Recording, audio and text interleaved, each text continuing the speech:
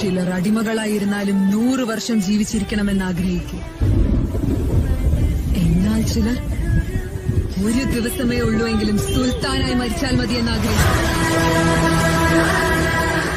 അവസാനം അവൻ മരിക്കുന്ന നാൾ വന്നാലും അവന്റെ ശവമഞ്ചം എടുക്കാൻ പോലും ആരുടെയും ആവശ്യമുണ്ടാവില്ല. അവന്റെ കല്ലറ വരെ ചെന്നെത്താൻ അവന് സ്വന്തം കാൽപാദങ്ങളുണ്ടാകും